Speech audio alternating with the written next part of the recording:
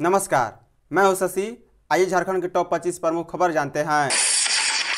झारखंड में 60 40 वाली नियोजन नीति से ही मिलेगी नौकरी। झारखंड सरकार में पदों और सेवाओं की रिक्तियों में 60 40 की नीति से ही नियोजन होगा। सरकार ने विधानसभा के मानसून सत्र में विधायक अंबा प्रसाद के सवाल के जवाब में यह बात स्वीकार की है।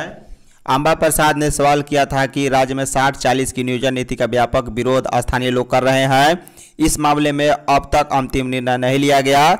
इसके जवाब में सरकार ने स्पष्ट किया कि झारखंड में पदों व सेवाओं में सीधी भर्तियों के लिए मेरिट कोटे से 40 व आरक्षित कोटि से 60 प्रतिशत रिक्तियाँ भरी जाएँगी। सोमवार को अल्पसूचित प्रश्नकाल के दौरान विधायकों के सवालों पर सरकार की ओर से यह लिखित जवाब दिया गया। बता दें, सरकार ने अपने जवाब में कहा कि आरक्षित कोटि की सीटों में अनुसूचित जाति के लिए 10 अनुसूचित जनजाति के लिए 26 अत्यंत पिछड़ा वर्ग सूची वन के लिए 8 व पिछड़ा वर्ग सूची टू के लिए 6 प्रतिशत सीटें आरक्षित है। वहीं आर्थिक रूप से कमज़ोर, जिसमें एस सी एस टी व ओबीसी शामिल नहीं है, दस फ़ीसदी आरक्षण का प्रावधान है। सरकार ने स्पष्ट किया है कि इसी आरक्षण के अनुरूप वर्तमान में राज्य में नियुक्ति की जा रही है। टेट पास पारा शिक्षकों का आंदोलन शुरू। वेतनमान की मांग को लेकर टेट पास पारा शिक्षकों का आंदोलन आज से शुरू हो गया है। मानसून सत्र के दौरान झारखंड विधानसभा के समक्ष अनशन पर बैठे टेट पास पारा शिक्षकों ने एक बार फिर सरकार पर ठगने का आरोप लगाते हुए आने वाले समय में आंदोलन तेज करने की धमकी दी है। झारखंड राज्य टेट सहायक अध्यापक समन्वय समिति के बैनर तले शुरू हुए इस आंदोलन के पहले दिन पलामू प्रमंडल के सभी टेट पास सहायक अध्यापकों ने भाग लिया।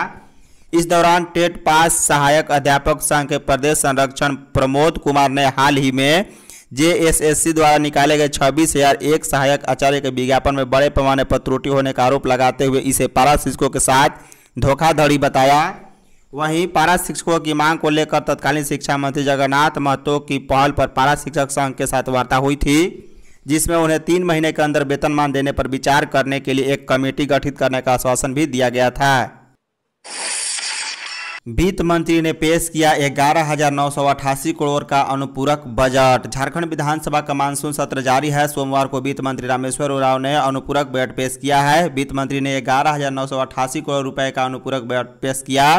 इनमें से ऊर्जा विभाग को सात हज़ार तैंतीस करोड़, नगर विकास एवं आवास विभाग को नौ सौ सत्ताईस करोड़, ग्रामीण विकास विभाग को पाँच सौ चौहत्तर करोड़ एवं महिला बाल विकास एवं सामाजिक सुरक्षा विभाग के लिए तीन सौ तैंतीस करोड़।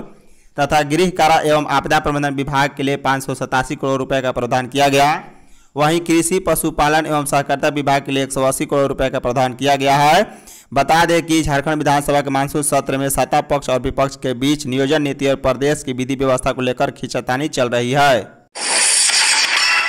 कुर्मी को हेमंत सरकार से एसटी में शामिल करने की मांग। भारतीय जनता पार्टी के विधायक और पूर्व मंत्री जयप्रकाश भाई पटेल ने एक बार फिर राज्य के कुर्मी समुदाय को अनुसूचित जनजाति में शामिल करने की मांग की है। विधानसभा के दूसरे दिन की कार्यवाही स्थगित होने के बाद सदन से बाहर जयप्रकाश भाई पटेल ने कहा है कि झारखंड के कुर्मी महतो वर्ष उन्नीस सौ इकतीस तक अनुसूचित जनजाति में शामिल थे।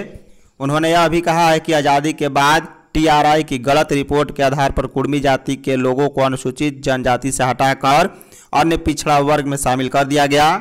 वहीं पूर्व मंत्री और भाजपा विधायक जयप्रकाश भाई पटेल ने मुख्यमंत्री हेमंत सोरेन से राज्य के कुर्मी समाज के लोगों को ओबीसी की जगह अनुसूचित जनजाति में शामिल करने की मांग की है। उन्होंने कहा है कि झारखंड मुक्ति मोर्चा को बनाने और इसे एक शक्ति प्रदान करने में कुर्मी समाज का बहुत बड़ा योगदान रहा है। रांची में वज्रपात से दो युवकों की मौत। राजधानी के बुड्डू अनुमंडल में दो अलग अलग स्थानों में वज्रपात से दो युवक की मौत हो गई, जबकि एक युवक और एक महिला गंभीर रूप से झुलस गए।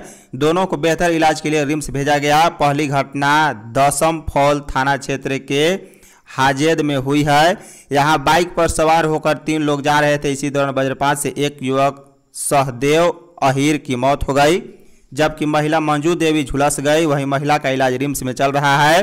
वहीं दूसरी घटना तमार थाना क्षेत्र के दुलमी गाँव में हुई है। यहाँ वज्रपात की चपेट में आने से मंगल मुंडा नामक युवक की मौत हो गई, जबकि अजय महतो नाम का शख्स झुलस गया है। ईडी ने विष्णु अग्रवाल को किया गिरफ़्तार। झारखंड के बड़े कारोबारी और निकोलियस मॉल के मालिक विष्णु अग्रवाल को ईडी ने गिरफ़्तार कर लिया है। विष्णु अग्रवाल को ईडी ने समन जारी कर सोमवार को पूछताछ के लिए बुलाया था। पूछताछ के बाद सोमवार देर रात अग्रवाल को गिरफ़्तार कर लिया गया, हालाँकि अभी तक इसकी आधिकारिक पुष्टि नहीं की गई।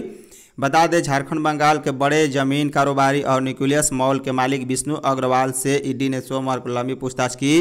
ईडी ने जाँच में हैरान करने वाला तथ्य पाया है। ईडी के अधिकारियों के मुताबिक विष्णु अग्रवाल ज़मीन घोटाले से लाभान्वित होने वाले प्रमुख व्यक्ति हैं। वहीं विष्णु अग्रवाल अपने प्रभाव से अफसरों से मनमर्जी का काम लेते थे। राजभवन से लौटाए गए तीन विधेयक को दोबारा विधानसभा के पटल पर लाने में पेच। हेमंत सोरेन के नेतृत्व वाली सरकार झारखंड विधानसभा के वर्तमान मानसून सत्र के दौरान ही फिर एक बार उन्नीस सौ बत्तीस खतियान आधारित स्थानीय नीति विधेयक, ओबीसी को 27 प्रतिशत आरक्षण विधेयक और भीड़ हिंसा के खिलाफ मॉब लिंचिंग विधेयक सदन से पास कराकर राजभवन भेजने की तैयारी में थी। लेकिन इसमें एक तकनीकी पेच फंस जाने की वजह से अब वर्तमान सत्र के दौरान इसे विधानसभा के पटल पर लाने की संभावना बेहद ही कम है। बता दें, राज्य के संसदीय कार्य मंत्री आलमगीर आलम के अनुसार सरकार विधानसभा से पारित तीनों महत्वपूर्ण विधेयक को राजभवन से लौटाने में तय नियमों का पालन नहीं किया गया है। ऐसे में जब तक विधानसभा सचिवालय के पास राजभवन से लौटाए गए विधेयक उनके संदेश के साथ नहीं पहुँच जाते, तब तक विधानसभा के पटल पर दोबारा विधेयक पेश नहीं किया जा सकता। सुभाष मुंडा के परिजनों से मिले मंत्री मिथिलेश ठाकुर। सोमवार को मंत्री मिथिलेश ठाकुर मृतक सीपीएम नेता सुभाष मुंडा के परिजन से मिले। इस दौरान उन्होंने कहा है कि जल्द ही दोषियों को पुलिस गिरफ़्तार करेगी। सरकार ऐसी व्यवस्था कर रही है जिससे इस तरह की घटना न घटे। बता दें, पिछले दिनों अपराधियों की गोली के शिकार हुए माकपा नेता सुभाष मुंडा के परिजनों से मुलाकात करने सरकार के मंत्री मिथिलेश ठाकुर पहुँचे। मुख्यमंत्री के निर्देश पर सुभाष मुंडा के नगरी थाना स्थित दलादली गाँव पहुँचे। मंत्री मिथिलेश ठाकुर ने परिवार वालों को ढांढस बढ़ाया। सुभाष मुंडा के पिता लालू मुंडा एवं उनके माँ से मुलाकात के दौरान मंत्री मिथिलेश ठाकुर ने पूरी घटना की जानकारी ली है। इस दौरान सुभाष मुंडा के माता पिता और परिजनों ने परिवार की सुरक्षा की गुहार लगाते हुए मंत्री से मुख्यमंत्री हेमंत सोरेन से मुलाकात कराने का अनुरोध किया है। सीएम हेमंत ने विधानसभा परिसर में किया पौधारोपण। झारखंड विधानसभा परिसर में आयोजित चौहत्तरवें राज्यव्यापी वन महोत्सव 2023 कार्यक्रम में मुख्यमंत्री हेमंत सोरेन शामिल हुए। उन्होंने कहा है कि प्राकृतिक व्यवस्थाओं के साथ छेड़छाड़ जलवायु परिवर्तन का मूल कारण है। इसलिए स्वयं भी पौधे लगाए और दूसरे को भी प्रेरित करें। मुख्यमंत्री हेमंत सोरेन ने कहा है कि प्रदेश में वन महोत्सव का राज्यव्यापी कार्यक्रम चल रहा है। यह कार्यक्रम राज्य की अलग अलग जगहों पर निरंतर आयोजित किया जा रहा है। इसी क्रम में आज हम सभी लोग झारखंड विधानसभा परिसर में पूर्व की भांति इस वर्ष भी वृक्षारोपण कार्यक्रम में उपस्थित हुए हैं।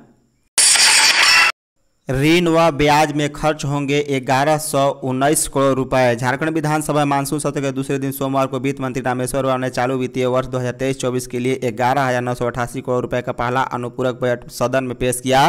अनुपूरक बजट पर मंगलवार को सदन में चर्चा होगी और सरकार इसे पास कराएगी। बता दें, पहले अनुपूरक बजट में कर्ज और ऋण अदायगी की ज़्यादा राशि रखी गई है। सरकार द्वारा बाहर के लिए गए कर्ज पर ब्याज अदायगी के लिए 703 करोड़ अस्सी लाख और ऋण अदायगी के लिए 415 करोड़ रुपए का प्रावधान किया है। धन्यवाद।